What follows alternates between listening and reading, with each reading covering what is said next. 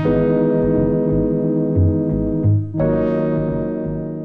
everyone, Robin from Backscatter here. Uh, today I'm sitting in the studio with our CEO, Jim Decker. How's it going today, Jim? Good to see you, Robin. Yeah, it's good to have you in the studio. Thanks. So today we're taking a look at a little head-to-head comparison between the Nikon D850 and the Sony a7R III. Uh, these are both pretty awesome full frame, kind of high-end SLR cameras here. Why are we taking a look at these two cameras head-to-head, Jim? Well, right now in the SLR and full frame market, these two are the top of the crop right now for image quality uh, and resolution. Okay. So these two are going to be the ones that most people who are looking for a camera in that range are going to be deciding between. Okay, very cool. So one of the first questions that I have to ask is, why are these cameras cool? What, what specifically about this level of camera makes it desirable? Robin, there's a there's a few things. Um, number one is the sensor in both of these cameras. Uh, Nikon is 46 megapixels. Mm-hmm. The Sony is uh, 42 and a half. Okay. Around approximately. Um, so they're both super high resolution. But what the development has become in the last few years with these high resolution cameras, they're also really great at low light situations too. Okay, which So- is, it's always kind of been a one or the other before, right? Yeah, is now you can have your cake and eat it too. Yeah, so, awesome. Nice. so it's, it's really cool there. And uh, so that's that's where I think people are kind of looking at these cameras because of those two features. Okay. So along with this increase in both low light capabilities and high resolution, where does dynamic range fit into that equation?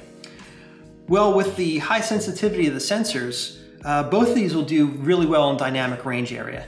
The Nikon D850 is going to do a little bit better, and Okay. that's because it can go down to ISO 64 versus a native ISO 64 Mm-hmm. versus the native ISO of 100 with the Sony. Okay. So you get an extra two thirds of stop of dynamic range because you'll be able to capture that much more highlight detail without knocking out the shadows. So it's not just a, you know, this one goes to 11 kind of thing. That's actually a real benefit. It is a real benefit. That's awesome. So where underwater photographers will appreciate this, is sunballs. Mm-hmm. So you can take the uh, ISO, take it down to ISO 64. You're going to get better highlight detail in your sunballs, Nice. as opposed to uh, being at uh, ISO 100. Cool. And, And still pre- and st- Yeah. still be able to preserve shadow detail Awesome. as well. Awesome.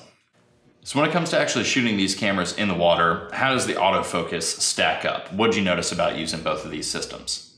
What I notice is both of them are really great uh, autofocus systems on land. Okay. Uh, I don't think most people are going to be able to tell the difference between these two autofocus systems on land. They're really, really great. Underwater for wide angle photography, kind of same situation. Okay. Uh, they they both uh, work really well. The uh, they have a lot of autofocus points uh, in there, and what I found was that I actually was able to change my shooting style for wide angle. How so? With both of these cameras. In the past, I've usually used the center area focus and aimed that at what I wanted the focus point to be, and then moved my camera after I locked the focus down. Compose the shot after Exactly. getting focus. Yeah. Exactly. So I used to shoot that way. With these cameras, the autofocus continuous systems Mm-hmm. and the selection, the automatic selection points Mm-hmm.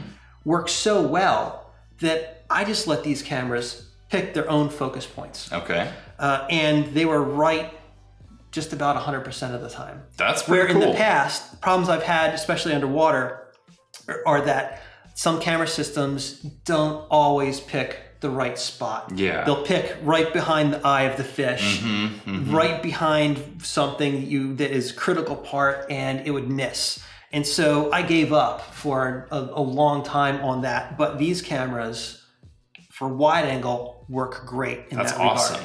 That's really cool. I mean, I'm sure we've all experienced that kind of frustration, you know?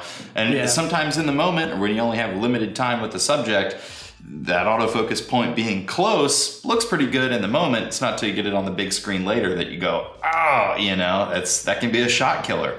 Yeah, so what I, what I was able to do is this was especially great for close focus wide angle work. Okay. Because when you're doing close focus wide angle work, when things are just inches and sometimes closer Yeah, to the touching dome, the dome, almost yeah. touching the dome, Yeah.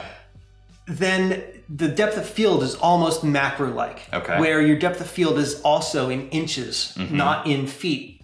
as you would normally come to expect from a wide angle lens. Mm-hmm. So with that, you need to update focus a lot and make sure you're focusing on the critical area of the subject. Mm-hmm. And both of these cameras picked up the nearest point of the subject, no problem at all, 100% of the time for all the shots that I took with them for my close focus wide angle shots. That is really, really cool. And when you're using a lens like the 8 to 15 too, it's kind of nice to have that zoom gear on there, be able to rely on that and take the whole manual focus thing out of the equation. I mean, to have reliably, reliably uh, accurate automatic, you know, autofocus, that's that's pretty cool. Yes, that was that was definitely a, a huge boon to my high keeper rate. For sure. When it comes to the macro side of things, we're using primarily manual focus in those situations. Well, I tried it two ways.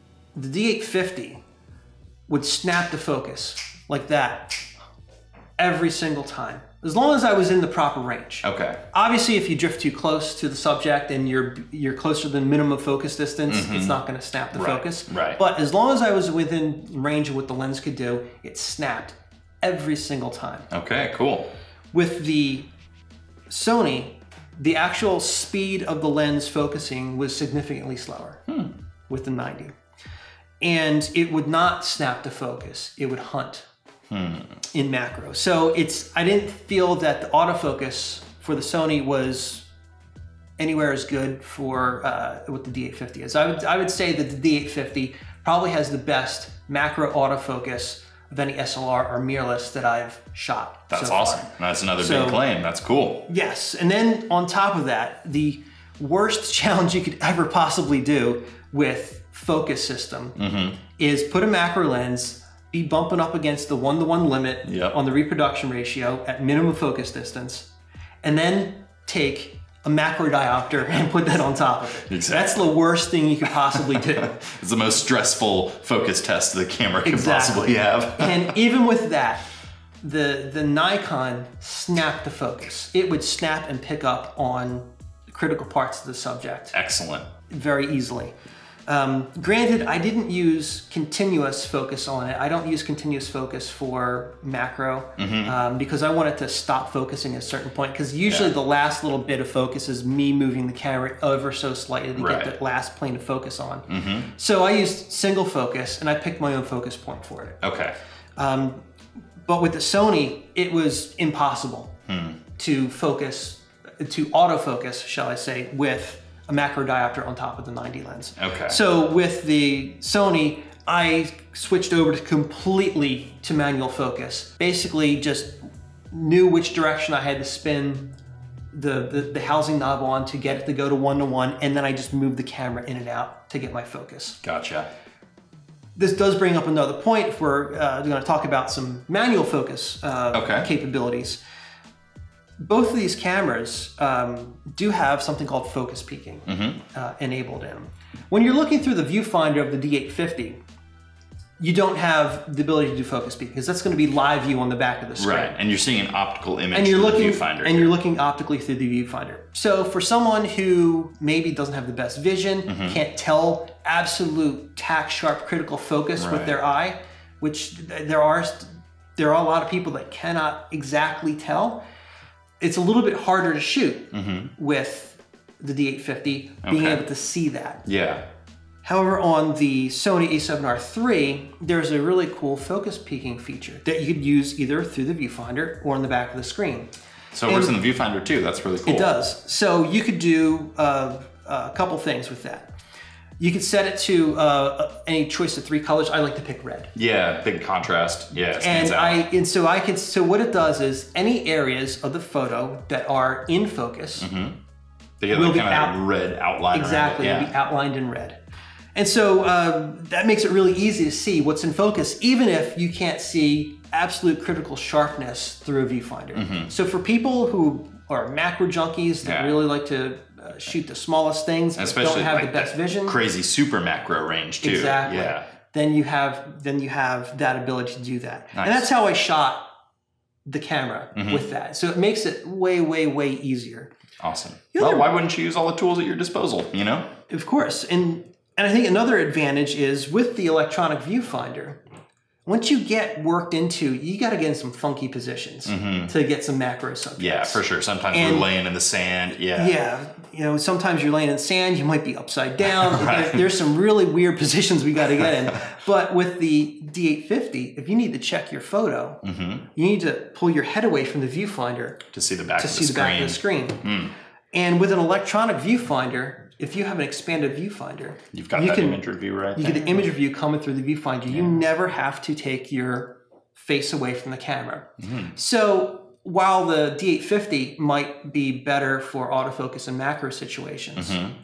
some people might prefer to have the focus peaking feature of the A7R3 Yeah, definitely worth, shots. worth noting between these two for sure. When it comes to the frame rate and the actual speed of shooting, what are you doing with these guys? You know, assuming we've kind of moved between just the single shot, we're getting into some continuous work here. What what'd you note about the speed?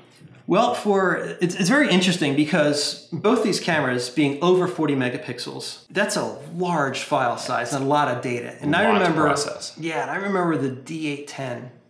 You would take the picture, and there'd be a delay Kind before of the a, chug picture, along, you yeah, know? Yeah. before the picture came up on the screen. Even. yeah, yeah. And so now these cameras are shooting relatively fast. Okay. Uh, for this, I think the D850 is around seven frames a second Okay. and the Sony is a little bit faster than that.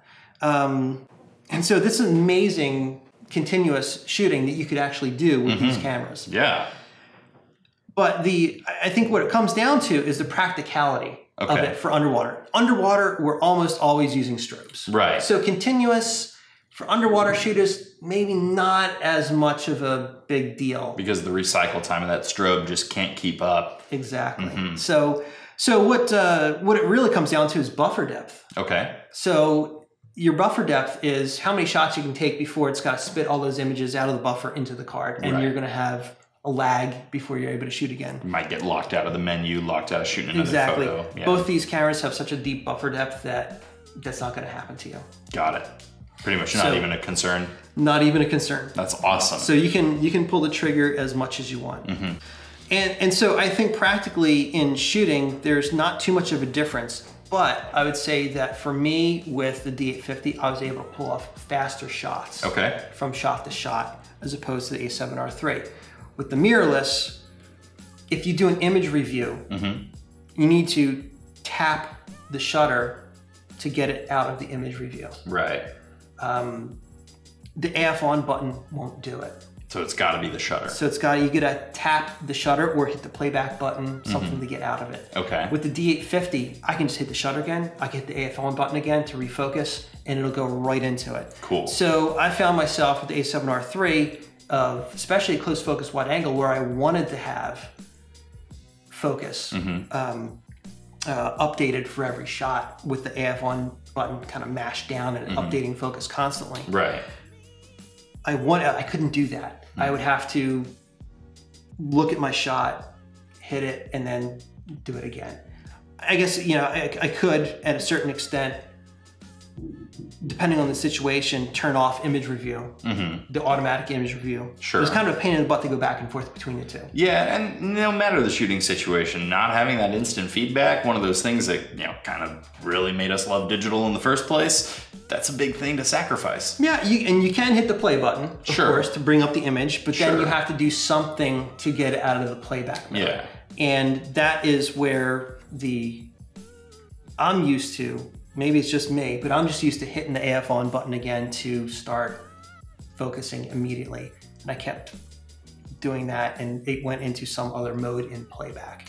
So that's that's one of those little details too. I mean, you're going to feel that on every dive and every shooting situation to some degree. So whether you like it, whether you don't, it's something to note between these two cameras. Yeah, and I, I think that it's overcomable. You know, I shoot so many different cameras Mm-hmm. with head backscatter. It's like I actually personally don't own a camera because I shoot something new just about every trip. right. And perhaps if this was my camera, I would get used to that. and I'd come up with a workaround. But Right. for me, I like the.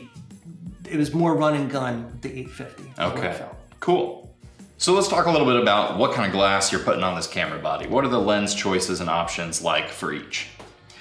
Well, it, it does vary quite a bit. Uh, for Nikon, you're pretty well set. They've got everything uh, now, especially they've came out with this 8 to 15 Yeah. in the last year. The 8 to 15 fisheye zoom lens is awesome. Canon's had one for a few years. Now Nikon has one. This is a gold ring lens, so it's their top grade glass in mm-hmm. there, ultra sharp, really great quality. And what 8 to 15 does is it allows you to go from 8 millimeters of what we call a full circular fisheye, which is 180 degrees angle coverage in every direction, which gives you a circular image, mm-hmm.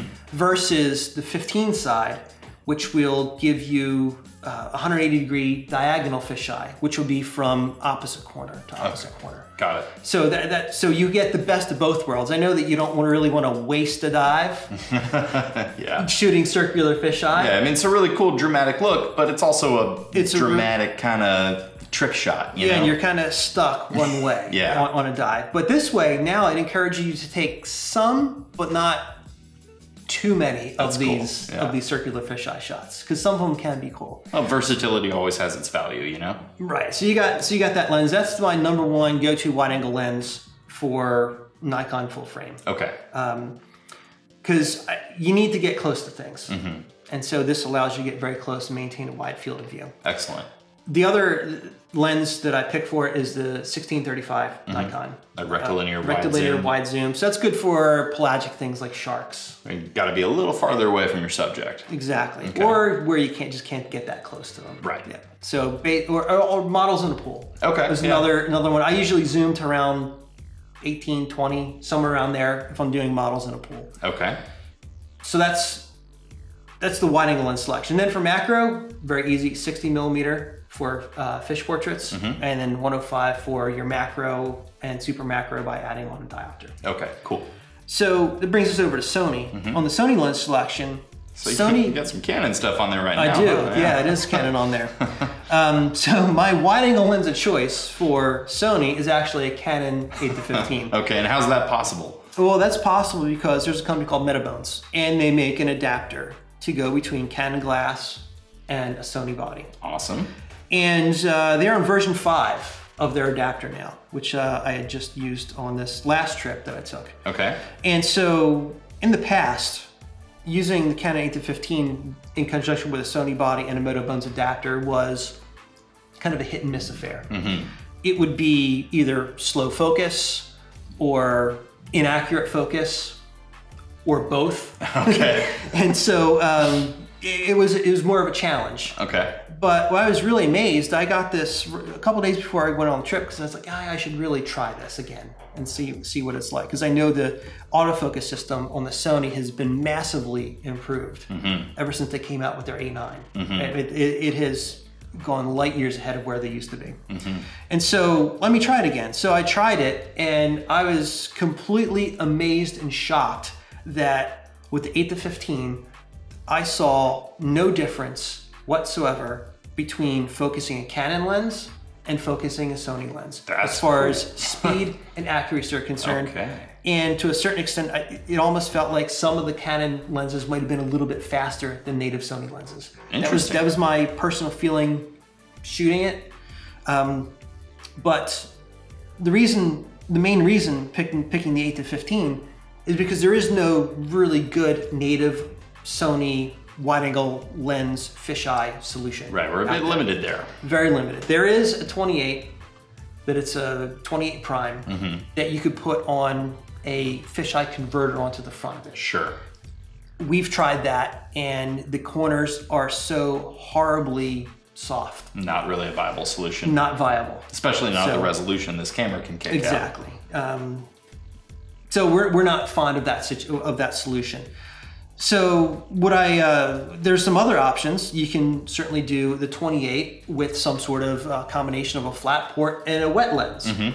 And before the Metabones was uh, kind of a thing, uh, and before it was had good enough performance to actually recommend it, that was kind of the, the, the way you would go with it is you would use a wet lens in combination with a 28 the problem with the wet lens with a 28 is that you're limited to about 130 degrees angle of coverage Okay. i think for most underwater shooters especially novice shooters that is plenty wide enough for them for me as a more advanced shooter I want to get all the way out to 180 degrees. Yeah, you really need the whole I, thing. I want to get as close to things as possible, get as much light on them from the strobes as possible, eliminate as much water to get as much contrast from the image. Mm-hmm. That's what I want to do with it. 130 degrees doesn't really cut it for me. Yeah, I mean that's still wide enough to be good wide angle shooting, but there's wider. Exactly. So that was another solution. Um, so that, those were your wide angle options uh, Okay. before, or you could use a 1635, which is excellent lens from Sony. Uh, those are your wide angle options. So when the Metabones adapter came out for the version five, this is now I, I, I think making this an actual true viable option, whereas before it was kind of wishy-washy because of the speed and accuracy of the autofocus. But now, no problems whatsoever. Close focus, wide angle, continuous focus, have it pick its own focus point. Mm-hmm. It didn't miss. That's really, really awesome. And this is also kind of cool because this is the first time we've seen each respective generation of this camera paired with an 8 to 15 lens. And we only got this Nikon 8 to 15 last June, right before our digital shootout trip. That's, that's right. So D850 with an 8 to 15, A7R3 with an 8 to 15 that works reliably well with autofocus and wide angle. Hey, we're kind of in a whole new ballpark here. That's cool. Those are shooting opportunities that owners of previous generations of these cameras didn't have before. Right, and now moving on from that, macro, uh, Sony came out with a 90 millimeter macro, um, not t- in the too distant past. So now they actually have a viable macro lens. Like I said, I don't think it focuses fast as the as the Nikon lens, but it is still, yeah, it is still a good quality lens to shoot macro with. And I think most macro shooters, macro enthusiasts know the value of having that manual focus too. So uh, autofocus for wide angle, yeah, essential. Mm, If it doesn't do it in macro, it's not the end of the world. You know, not a deal breaker for me at least. Depends on the macro shoot. if you're doing like little critters in Lembeh that don't move very much, Yeah, true. Yeah, it's you can yeah you can pretty much do manual all the time. Mm-hmm. You got some stuff that's moving around a little bit. It, you know, picking uh, something with a little zippier autofocus, especially when you're not doing super macro. Yeah, true. it's, that's where it's going to really come into play. Good point. So tell me a little bit about where you've been diving out in the world putting these cameras to the test. Well, I took these cameras to two different locations. In January, I went to Roatan, and those are some really challenging conditions. Okay. We uh, we stayed at the Coco View Resort, home of the digital shootout. Yep. In Roatan, during that time, it was their rainy season. They Okay. normally get nine feet of rain in their rainy season, Mm-hmm. and they had a month and a half to go or so. And at that point, they had already gotten 15 feet of rain. Ooh, that's rough. And so we had a lot of runoff. Uh, it was. They said it was the most rain they've had in 25 years. uh, it's not And a so- photographer's friend. Yeah, so we had some really challenging conditions for these cameras. There are Mm-hmm. some dives where we were at like ISO 3200 just to get some sort of background at a 60th of a second. Yikes. So it was so it was very challenging for these cameras uh, as far as low light capability, and and they did really well in those situations. Well, that's So- awesome, yeah. So it was, it was kind of a blessing in disguise for the testing. The other place I went was uh, Little Cayman, Okay. Mm-hmm. and we went to Little Cayman Beach Resort, where we do a lot of our other wide angle boot camp classes, Lightroom boot camp, and also another home to the digital shootout. So uh, we know those waters very well in both of these locations, and so uh, Little Cayman, not their rainy season. Okay. Didn't rain a single drop while I was there. Nice. And uh, bright sunshine and super clear viz with no runoff. So complete opposite kind of water uh, conditions Okay. uh, to uh, to test these cameras in. So I took them to both those locations, shot them both during the time that I was there. In Roatan, there's the, the Mr. Bud wreck. Nice wreck on the south side of the island. It's kind of a cute little boat down there. Yeah. And um, so I did two different dives, and I took these cameras on two different dives. The D850 with the 8 to 15, I can get so close to it, but not as close as I really want to be to light as much of it as I wanted to light. Okay. So I am shooting for post to a certain degree where I know that I'm going to have some contrast issues with it. Strobes are all the way out super wide, full power. Ideally, I'd like to be a little bit closer, but I just can't. Otherwise, I wouldn't get the whole image Sure. uh, framed up properly. Yeah, so you gotta just turn those strobes up. Right, so you'll turn those strobes up, and there's plenty of detail in these files. I was able to go in on the rack, kind of paint in some contrast on it, do some white balance adjustments to it to take care of the contrast you get from when a strobe is too far away Sure. optimally for your subject. right. So I was able to get that. It produced really, really nice blues. Um, looked really great. The sun at the top of the frame looks great. Um, and uh, of course, nice thing about speed of shooting is when I'm kind of framing this up and trying to get it framed and lit just right, school of fish come by. So I can just I just started pulling the trigger as I see a school of fish come by Mm-hmm. Nice. through the through the frame. So that's the picture that you're seeing here. Okay. And so performed great. Excellent. So the Sony, in that situation, uh, I, I used everything the same. I was using uh, YS250 strobes, uh, really bright to light up the area. And so, um, but I had the, the 28 millimeter lens with the uh, fisheye converter on it that gets me up to about to about 130 degrees. Okay. And so with that only being 130 degrees, to frame the shot, I have to be further away. Right. Even So more I had to- challenge. Right, exactly, because now my strobes are further away. I got more water between the lens and the subject, more potential for backscatter. It, it was not as bright that day. So when you see these two images combined, don't knock the Sony because the background doesn't quite look as nice as coming out of the Nikon. It's a little bit darker that day and a little bit more challenging. That being said, is it was harder to get the light at that distance. So I don't know if I I wouldn't knock the Sony because of that.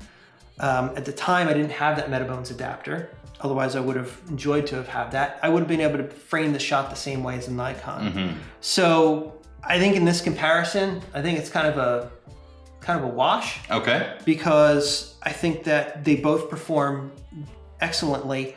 But now with the Metabones adapter, you can get the proper lens so you can get close enough so you can actually pull off the same shot. Excellent. So it really even just closes that gap even tighter, really. Exactly. It's almost yeah. kind of yeah. Before in January when I didn't have the Metabones adapter, I was a little bit more down on the A7R3 because merely because of lens selection. Sure.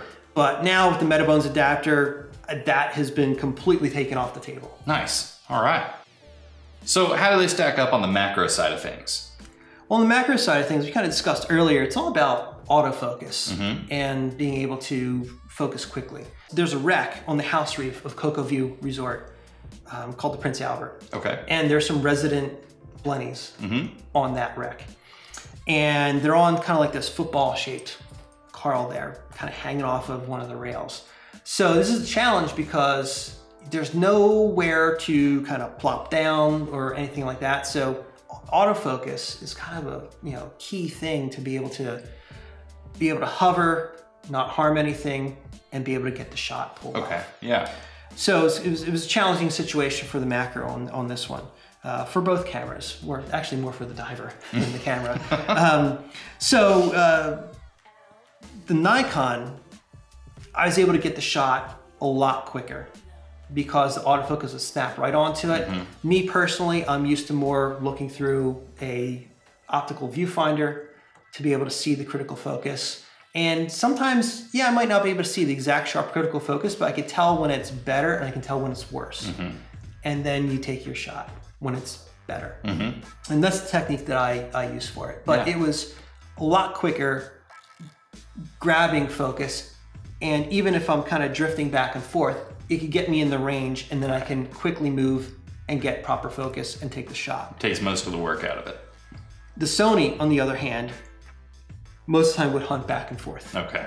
back and forth. And so when you're talking about macro and your distance to the subject, if you move your distance by like one inch, that's like a massive amount Yeah. of focus Right, range for macro.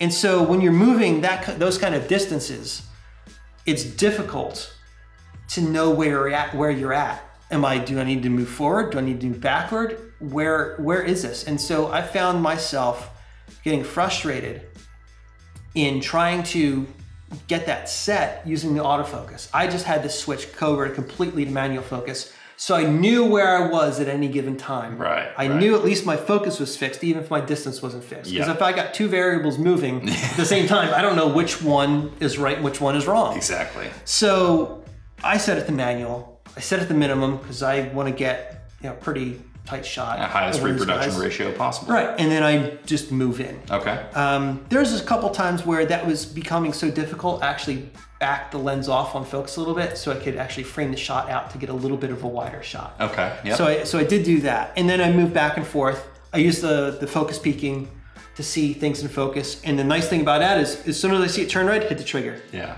Red trigger, red trigger. And so once you get that rhythm in, that would that worked well. But I think in that situation, it was a lot easier for me to pull off the shot, the D850 versus the A7R3. Okay. So if that was your experience in Roatan, let's talk about a Little Cayman for a minute. Great. How did these guys do? They both did great. I didn't touch macro the whole time, is unless I'm going someplace like Lembeh or Anilao or someplace known for critter Sure. diving. I I'm much more interested in wide angle. Well, and to clarify Yeah. too, you were there to lead our wide angle boot camp. that is so- true. So I didn't even bring a macro lens with me.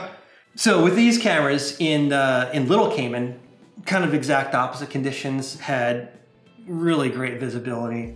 Uh, it was consistently 100 foot plus. um, That's awesome. bright sunshine. So great proving ground for nice blue backgrounds with lots of detail. Yeah. So with the D850, um, one of the first shots I took, there was a at the end of a hour long dive, there was a gigantic barracuda underneath the boat Nice. at the Okay. safety stop. Cool. So we're in relatively shallow water. We're probably about 15 feet deep. We're doing a safety stop. And uh, with the 8 to 15, I was at the 15 side of lens, and I got about that close from the dome to the barracuda. Nice to find a barracuda that lets you get that close too. That's Yeah, cool. you have to stalk those things. Yeah. you, have to, you have to be very careful. You can spook those things very, very easily. For sure. Um, so I shot at ISO 64 because I wanted to get the most dynamic range possible out of the shot. And barracudas are, are hard to shoot because with your strobes, you have to get it just right because otherwise yeah. you'll blow them out because they're very reflective. They're like a wall of mirrors. Right, right. And so you're trying to expose, try exposing a wall of mirrors is very difficult. Meanwhile, balancing your background light. I was able to pull this particular shot off, and the Barracuda came out just a little hot in a couple areas. I was able to take the Lightroom slider and for highlights, pull that down, and pull them right in. Nice. Uh, so no problem on that. And I had a nice blue background, looked great out of camera. The uh, the detail on the surface is all there with the 46 megapixels of resolution. This image, especially with the updating the focus continuously and being really sharp on that eye, this will make a great print Yeah, absolutely. for 46 megapixels of resolution, throwing this up on the wall with the focus where it's at, the highlight detail where it's at, the background detail, the dynamic range, this will make a great print. yeah, awesome. So that it, it worked out really well. With the Sony Mm-hmm. on wide angle with the 8 to 15 is able to do a circular fisheye, which you can't do with any Sony Right. wide angle lens. Yeah, you got to play with that, you know? So circular fisheyes, like let me give this a shot. Groupers in Little Cayman are very friendly, Mm-hmm. Yeah. can get really close. Right. And so with the 8 to 15, I was able to do a circular fisheye shot, and I wanted to get one uh, just to try it out. And my good teaching partner for all the wide angle boot camps, Erin Quigley, she was there. And she became a model in the photo, Salt was going down. Mm-hmm. She got in position. I had the sun ball behind it. As all good dive photo buddies will do. Exactly. uh, so we were able to uh, pull off the shot together rather quickly. Mm-hmm. Uh, I was able to focus on the on the grouper, which was practically touching the dome, just about there, Wow, to nice. Mm-hmm. get this kind of a shot with a circular fisheye. To get this kind of image where the grouper is so large in the frame, it has to be almost touching the dome. Right. And so the camera autofocus picked up very quickly, was able to hold on the grouper, and I got was able to pull off this shot. Excellent. And the blues look awesome, the color looks awesome. So I think again, for image quality wise, I don't know if there's enough of a difference between these two to say that one is better than the other for wide angle photography. I really think that uh, you, you're going to be happy with picking either one of these. Well, it's nice to have a, a wide angle win-win, you know? So that's a pretty comprehensive review of the still capabilities here. I'm, I'm feeling pretty good about what we've covered. So let's talk a little bit about video. Uh, what have you found so far with video capabilities of these two systems? Well, I've kind of been not been a fan of the video capabilities of both these systems for a while, especially Nikon. Mm-hmm. Nikon has been traditionally the worst as far as the video capabilities. Things like color concerned. coming out of the camera and All the above. It's everything. It was the color that was coming out of the camera, not even able being able to pull off a white balance Mm-hmm. underwater. Um, if it did, it kind of looked murky. Mm. Um, low bit rates. The uh, and then most more recently with the D500 and D5, they had a severe over two point, you know, one the crop of the sensor for shooting 4K, which basically rendered your wide angle useless. right. Um, so not a lot of things for fans to cheer about for Nikon for video. Okay. Uh, as far as Sony is concerned, in the past, the only real major issue has been the inability to white balance above 9900 degrees Kelvin. Not having it would always, temperature range. yeah, it would always just top out at 9900, Mm-hmm. and it said white balance error 9900 continue. Yeah. So um, that's been Sony's issue.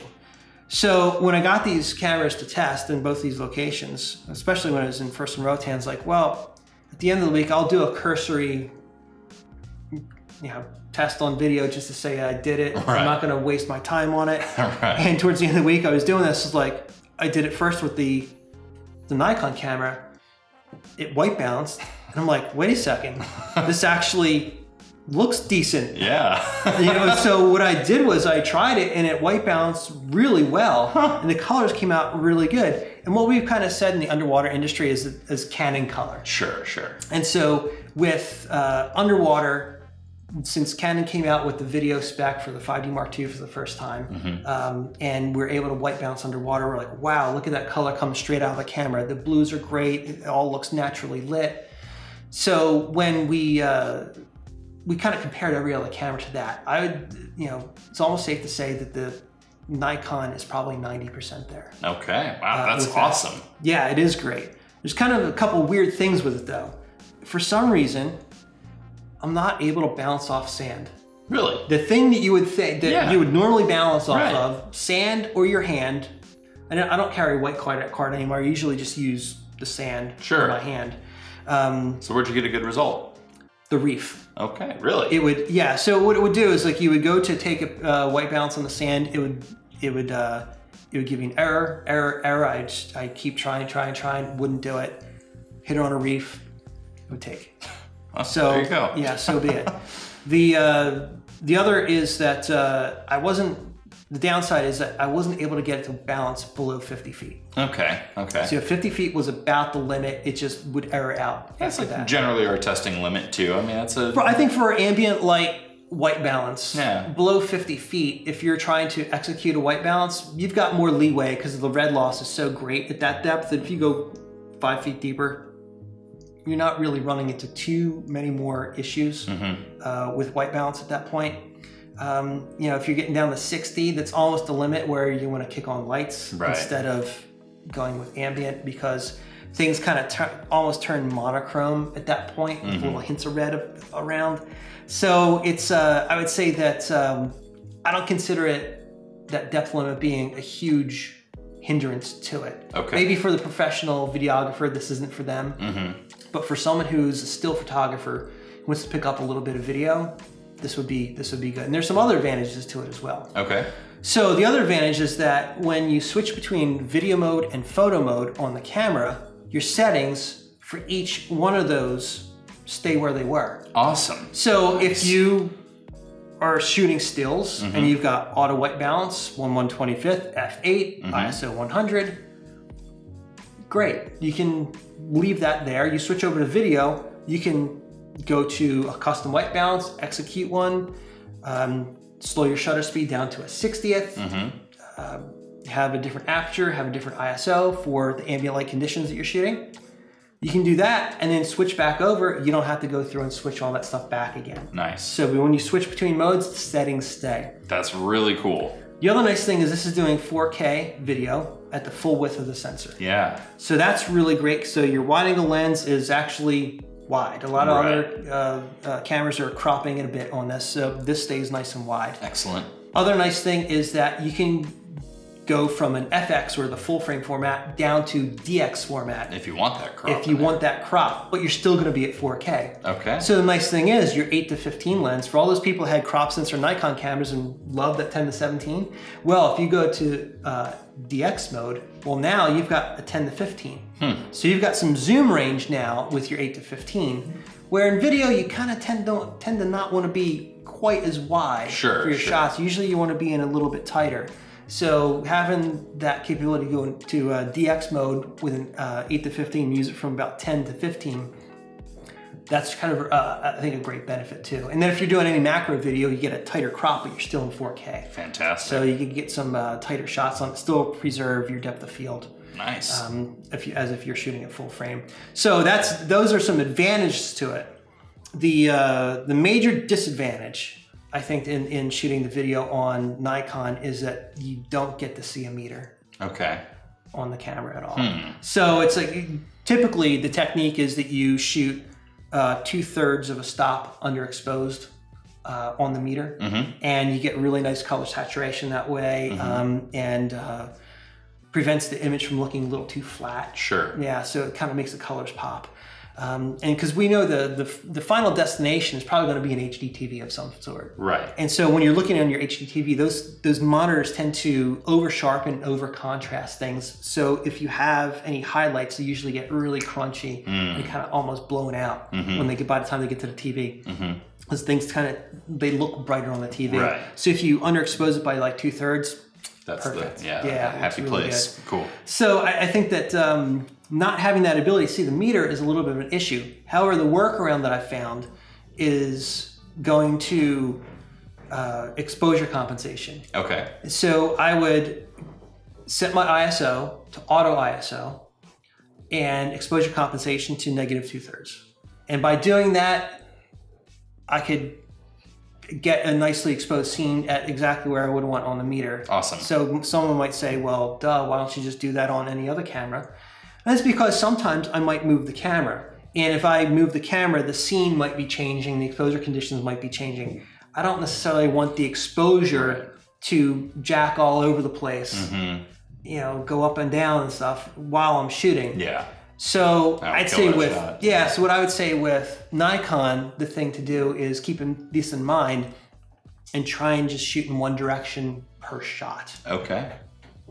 And how about with the A7R3? First of all, on the white balance, it's it's kind of hit and miss. Okay. Um, one thing that it got that, that did get changed on it is that it is now able to white balance at values over 9900. Okay. Kelvin. So that was a major major improvement for for Sony. What happens is in the past you would say it would say error 9900 and that's the max it would do and it would put it into one of the white balance banks in the camera. What you're able to do now is when you execute that white balance, it says greater than 9900. So it still doesn't tell you what it is. It Okay. tells you it's greater, and then uh, it, it you can save it to one of the white balance banks. What I found though is that in Roatan, it seemed to do pretty well in really, really bad low vis, low light conditions. Interesting. not, not what you would expect. Not what you expect, and the, the colors came out looking pretty decent Okay. you know and uh, but when i was in little cayman with excellent visibility what i found was that the camera would the foreground would look not so bad but the water and things in the background would be very purple Interesting. like like overly purple consistently um, to the point where I was trying. There's a tint adjustment you can do on most of these cameras for white balance. So I tried the tint adjustment. I tried all sorts of settings on it and tried to experiment. I couldn't get it to look right in camera. I think maybe if I got a slate and you and I went down there and we got a Spent that time. tripod Yeah. and we scientifically went through Right. you know a hundred different tint settings Yeah. we could find one that kind of worked for that scene and then we could see if we could replicate that on at other scenes to see if that still worked Mm-hmm.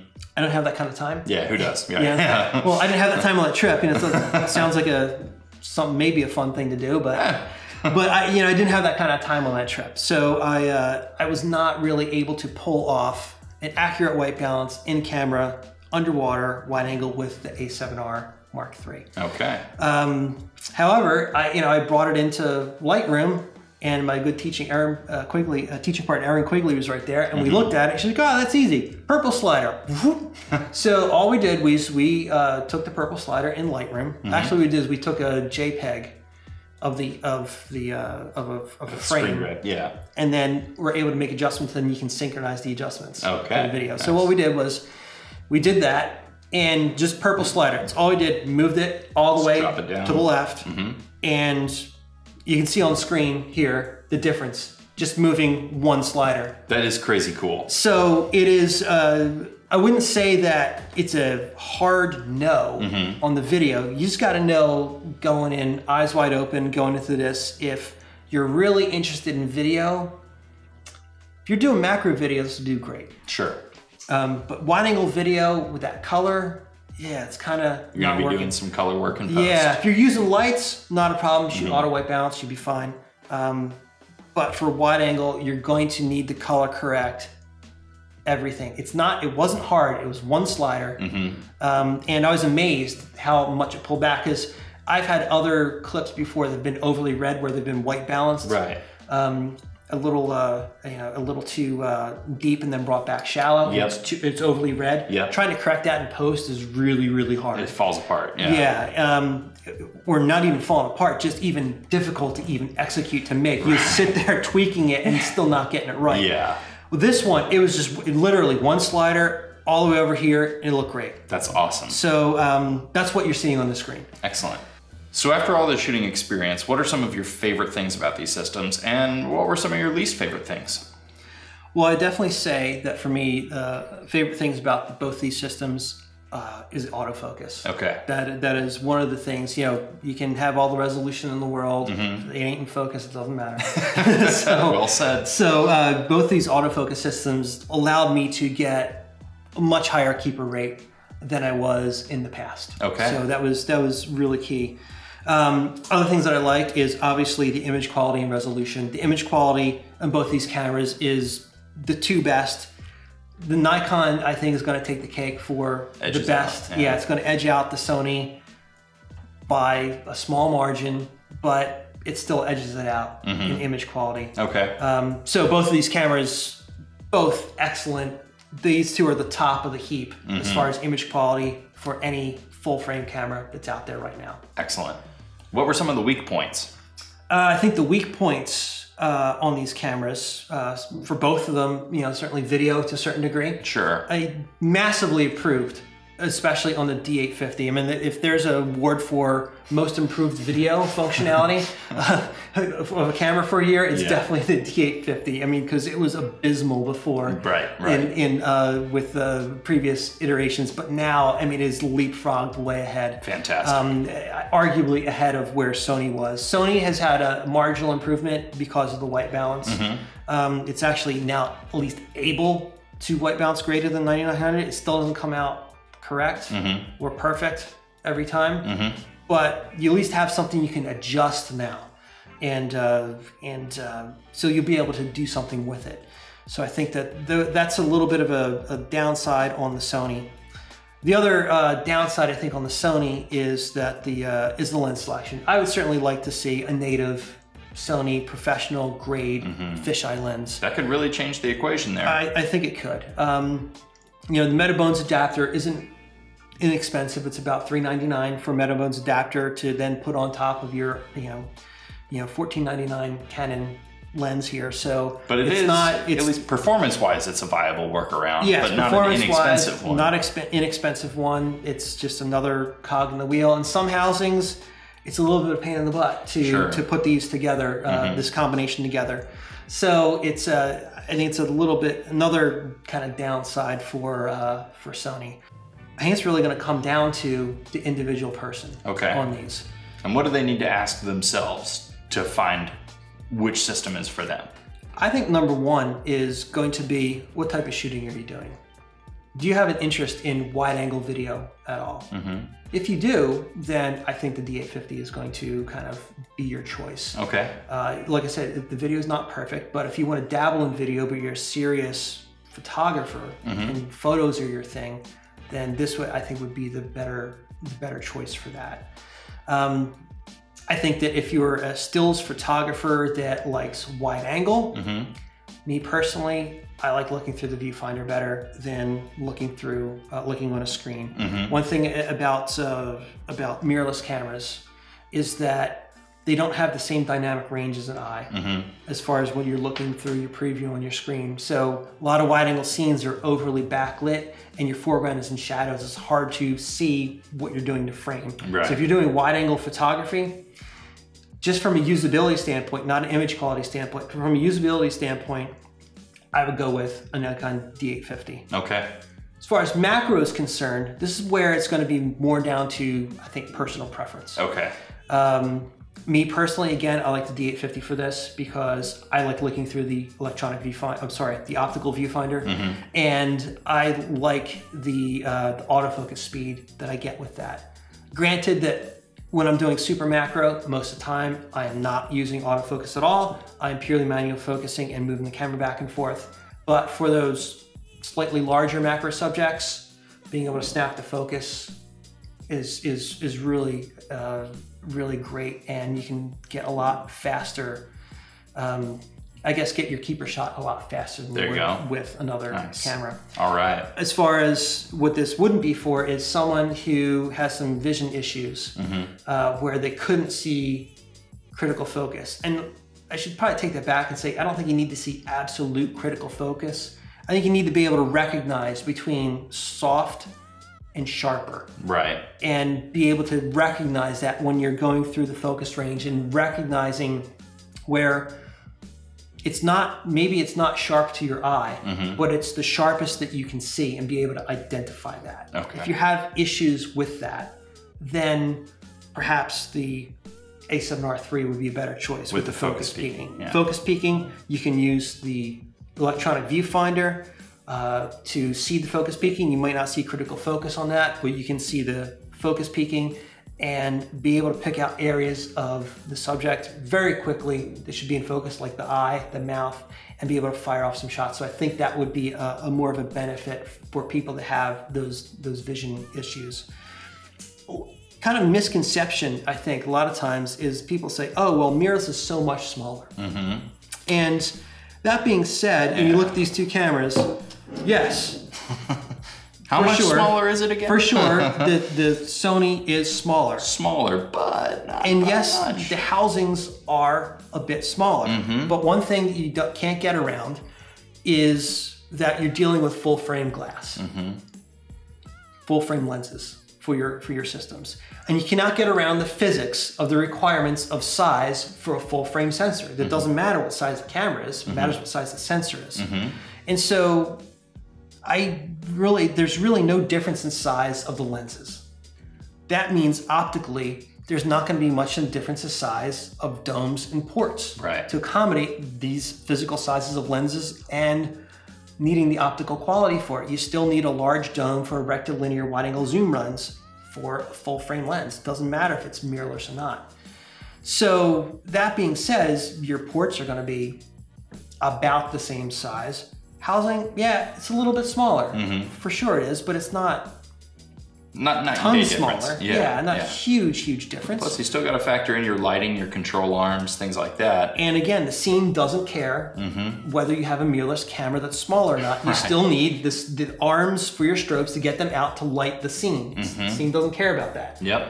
And you still need the appropriate strobes to be able to light the scene. And you either don't- way, yeah, you can't use yeah. a lower powered strobe just because your camera's smaller. Right, and you're probably still putting it all into one big check bag. You know, it's travel. Yep. It's kind of same for same. Yeah, space I mean, if you're splitting hairs, you know, yes, this is going to be a little bit easier to travel with Sure. if you're going to carry it on. But if Yeah. you're not going to, if you're not carrying it on, it really doesn't make much of a difference. Right. Where it does is topside, Okay. and I would certainly Carrying it around all day, that yeah, kind of thing. One of the things I like to do is I, I like to shoot concerts. Mm-hmm. And for me, I'll take a Sony to a concert because the focus is really great.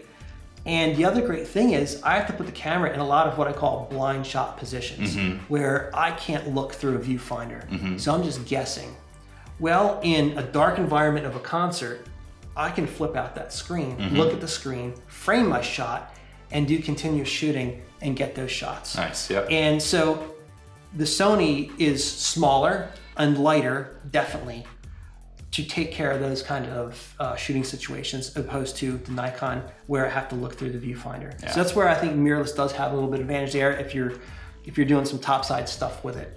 Um, but other than that, me personally, I'm gonna pick the D850. Um, and the primary reason is optical viewfinder is is the is the choice for me for the ease of seeing what I'm doing wide angle shooting and for how I shoot macro. Excellent.